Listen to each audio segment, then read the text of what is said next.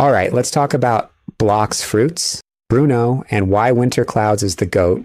Well, almost. First off, if you haven't seen WinterKloudz's latest video, pause this and go watch it. It's already a banger. Zero seconds in, you just know it's about to hit different. And it does every single time. But let's not ignore the elephant in the room. Bruno. Bruno, absolutely not the GOAT. Let's get that clear.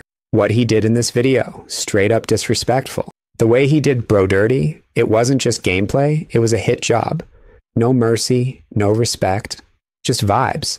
You can't even recover from that kind of violation. Bruno was out here making it personal, and honestly, that transition at 2133, it sealed it. Fire transitions, legendary moves, and then Bruno comes through and ruins someone's day. What a guy. Now back to WinterKloudz. Let me tell you why this dude stays winning. He's not just playing games, he's delivering art, the kind of transitions, edits, and energy that make other creators look like amateurs. But then, then you've got the Blox Fruits drama. Max level players begging for fruits? Seriously? 118 was the highlight.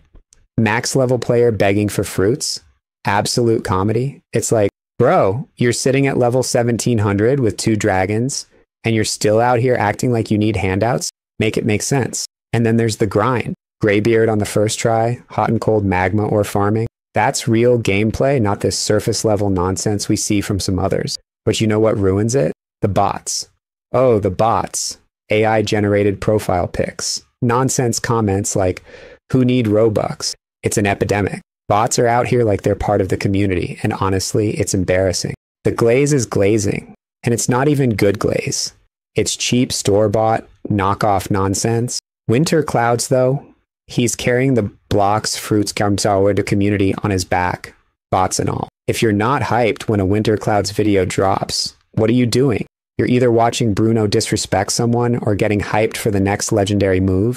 And if you haven't sent this to someone who loves League of Legends, do it now because we all know they'll appreciate the chaos. WinterKloudz is that guy. Bruno's just out here causing problems. And Blox Fruits, it's the wild, wild west.